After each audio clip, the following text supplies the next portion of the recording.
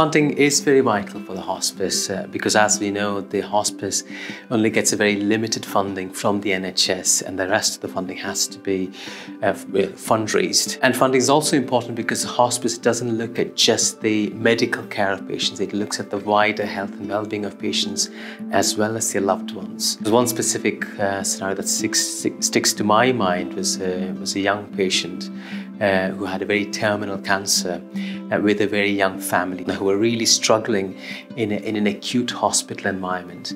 So we um, discussed that with the family and with the hospice team here and prioritized to transfer that patient. But also, I think the more important thing was that that patient had able, was able to have that quality time with the children and with the family. So they were able to actually be a, fa a family once again, especially to the last days and last weeks of that patient's life.